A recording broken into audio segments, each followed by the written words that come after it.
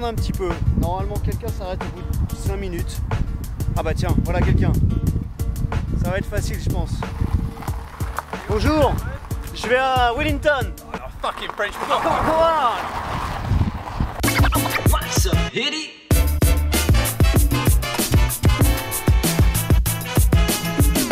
What's up les copains? En Nouvelle-Zélande j'ai décidé de faire du stop, c'est le moyen de transport le moins cher. Euh, le seul problème c'est que tu peux rester en plein milieu de la route. Voilà, tu restes sur le trottoir pendant des heures sans gagner absolument, tu gagnes pas d'argent. Tu t'attends, tu tends ton bras, en général ça marche. Et dégueulasse Salut J'ai pas attendu plus de 5 minutes pour le moment, 5-20 minutes. C'est le top, ça coûte rien. Tu rencontres des gens fabuleux, des gens bizarres aussi.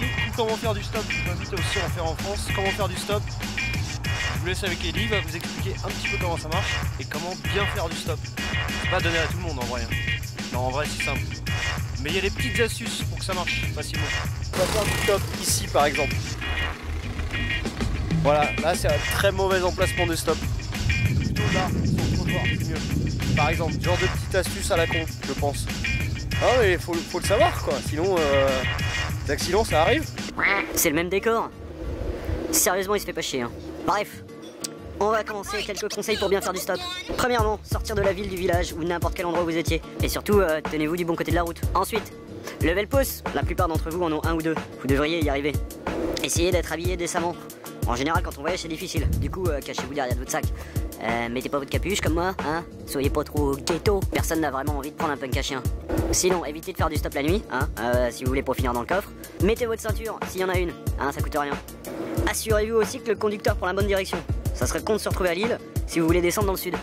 Évitez de vous endormir en voiture, c'est pas très poli, et en plus ça serait dommage de perdre un rein au réveil. En règle générale, si vous avez un mauvais feeling, n'hésitez pas à vous barrer. Pour se barrer ou refuser la course, une bonne astuce, c'est de prétendre qu'un de vos amis vous envoie un message. Et vous retrouve, comme par hasard, juste ici.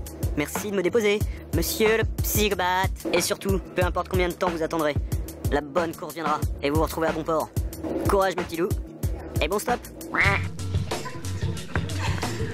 J'attends quelqu'un. Hein? Le sac à dos Non, c'est pas moi. Comment?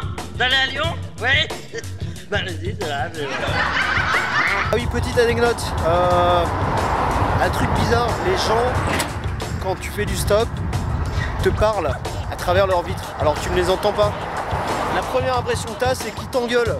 Donc si vous voyez des autostoppeurs, ne leur parlez pas. Enfin, on vous entend pas en vrai. On est sur le bord de la route, vous êtes dans votre voiture. Qu'est-ce que, pourquoi? C'est un peu bizarre quand même. Au début, je croyais que les gens m'engueulaient, genre euh, t'as pas le droit d'être là. euh, euh, en vrai, on a le droit d'être là, on a le droit d'être sur le trottoir. C'est pas de la prostitution. Pas jeu 50 euros.